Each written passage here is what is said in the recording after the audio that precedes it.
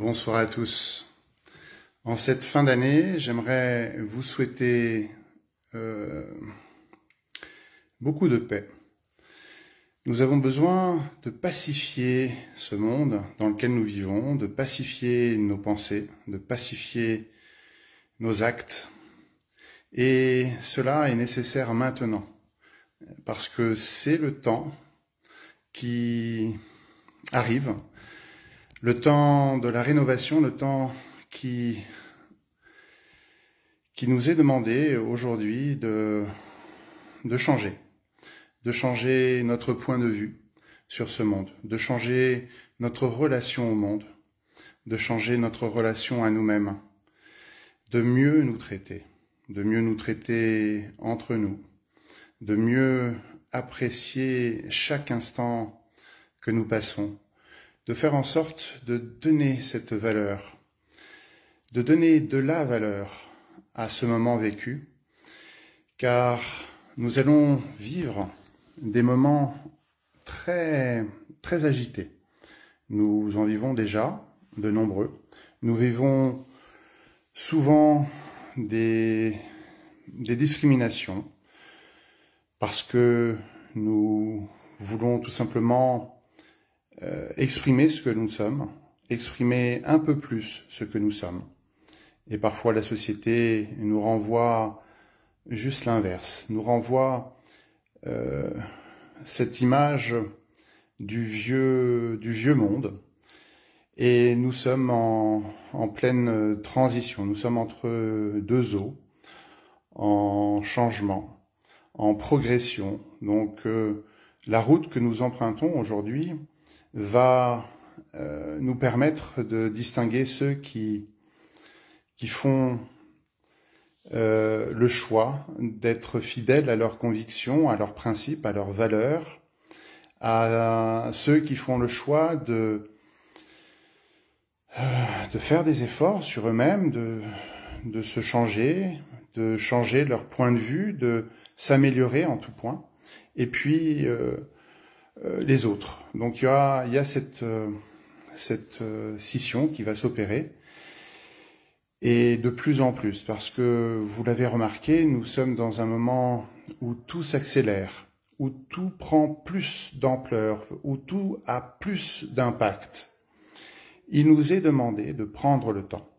C'est pour ça que j'ai commencé par vous montrer cette horloge euh, avec euh, ces chiffres romains, donc qui fait euh, référence à un monde du passé. Et aujourd'hui, cette horloge qui compte les minutes, qui compte le temps qui passe, eh bien, cette horloge appartient au passé. Car nous sommes en train de, de, rentrer de plein pied dans un monde où l'instant présent sera le seul à vivre, le seul qui a de l'importance. Donc prenons le temps, le temps d'observer, d'observer ce que nous voulons réellement vivre, faire émerger du plus profond de notre être. Et c'est pour ça que je fais ce message aujourd'hui, en, cette fin d'année, pour vous souhaiter de prendre le temps, pour vous inviter à prendre le temps de penser et de ressentir ce monde nouveau dans lequel euh, nous entrons.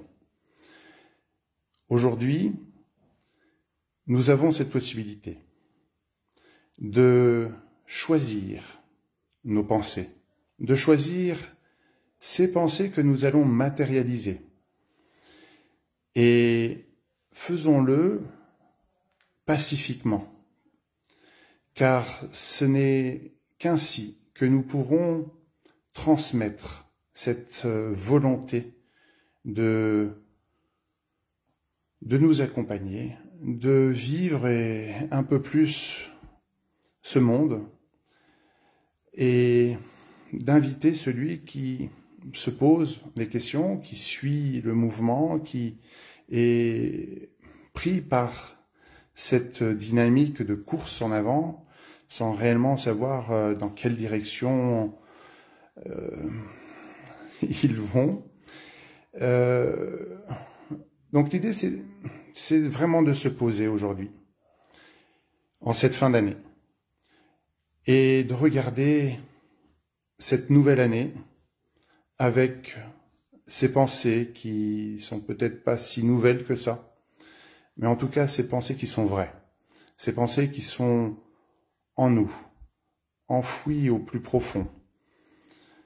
Et ce sont ces pensées que nous devons regarder et faire émerger maintenant au quotidien.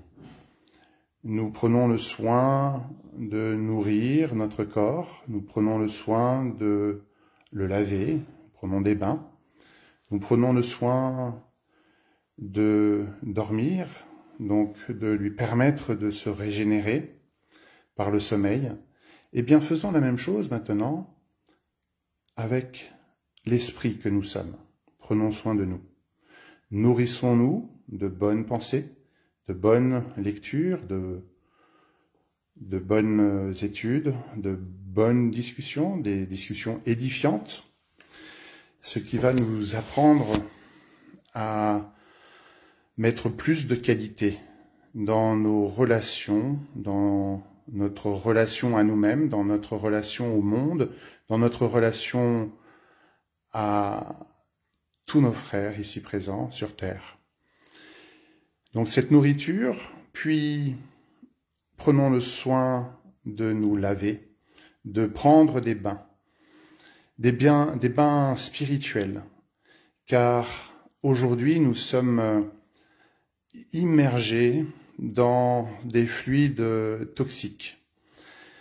Ces pensées de peur, ces pensées qui nous contaminent au quotidien. Prenons le temps de comprendre cela. Est-ce que ces pensées que j'accueille dans mon quotidien, dans ma vie, que j'intègre, peut-être que je fais mienne, est-ce qu'elles sont bonnes? Est-ce qu'elles sont utiles? Est-ce qu'elles sont vraies? Est-ce qu'elles vont m'aider à avancer vers ce, cet objectif que je me fixe aujourd'hui, un objectif de paix, un objectif de sérénité, qui va me permettre euh, bah, de découvrir le monde d'une autre façon, plus posément, d'apprécier vraiment ce qui est aujourd'hui présent dans notre vie. Donc ce bain est fait par... Euh, non, pardon. Oui, ce bain est fait par cette attention, par ce choix des pensées que nous allons euh, accepter en nous, dans notre quotidien. Et puis par l'orientation de ces pensées, celles que nous avons choisies comme étant bonnes pour nous et que nous allons cultiver, nous allons les mettre en œuvre, les diriger et faire en sorte qu'elles deviennent action, qu'elles deviennent projet, qu'elles deviennent réalisation. Donc cette deuxième étape est suivie par le sommeil, c'est-à-dire pendant notre sommeil, nous en tant qu'esprit, nous allons continuer notre activité. Nous avons le choix. Nous pouvons soit continuer nos activités du jour en retrouvant nos amis ici et là et en continuant les discussions, les activités que nous avons eues pendant la journée, ou bien nous pouvons choisir d'aller auprès d'autres amis, des, amis plus spiritualisés, peut-être euh, pour recevoir une éducation, une instruction qui nous sera bénéfique, qui nous permettra de progresser d'une autre façon ici sur Terre. Donc pendant notre sommeil, nous allons prendre rendez-vous avec ceux qui pourront nous instruire, nous aider dans la réalisation de ces objectifs que nous nous fixons aujourd'hui.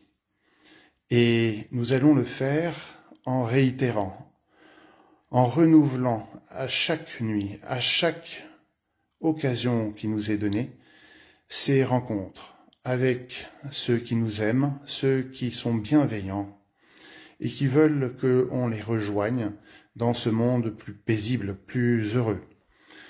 Eh bien, voilà les trois étapes que nous pouvons tous aujourd'hui mettre en œuvre. Dans le plan matériel, nourriture, bain et sommeil, et sur le plan spirituel, en faisant la même chose à un autre niveau.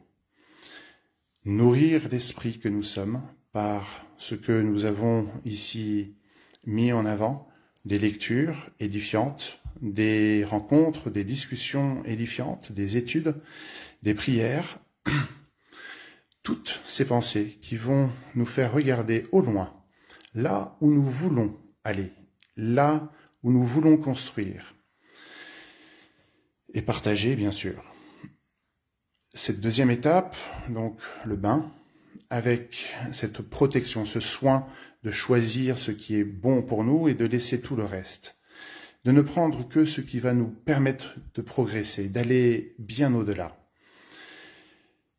Et puis la dernière étape, c'est de programmer ces instants d'instruction pendant le, sommeil de notre corps, puisque l'esprit est toujours en activité. Donc choisissons ceux qui pourront nous instruire et nous permettre de réaliser paisiblement toutes ces belles pensées que nous avions quand nous étions plus jeunes, enfants.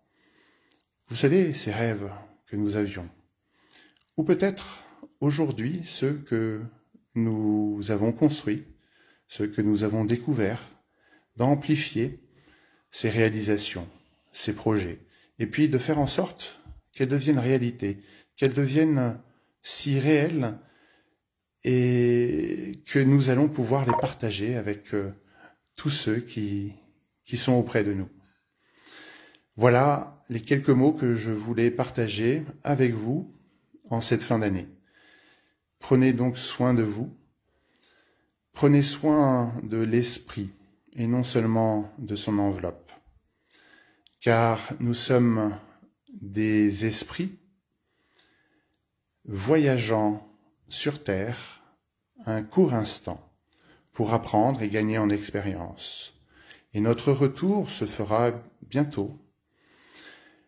Et nous allons ramener avec nous toute cette expérience gagnée ici, riche de ces échanges, de ces pensées qui ont été concrétisées, matérialisées, et qui ont fait du bien. Parce que la question qui nous sera posée à notre retour, c'est quel est le bien que tu as fait? Tout simplement. Alors, à chaque jour, posons-nous ces questions sur notre journée. Ai-je bien nourri mon esprit? Avec de bonnes choses, de bonnes idées, de bonnes actions, de bonnes lectures, de bons partages? Ai-je pris le soin de me laver, de me baigner? Et de me protéger Ai-je pris le soin pendant le sommeil de mon corps pour aller au-devant de ceux qui ont pu m'instruire. Eh bien voilà, je vous souhaite une excellente fin d'année et une belle, une belle réalisation pour l'année qui vient. Que toutes vos plus belles pensées puissent voir le jour pour que ce monde soit plus paisible, plus harmonieux, et que nous puissions tous vivre ainsi, unis dans cette même intention. Une excellente année 2022 à vous tous. Que la paix soit avec vous.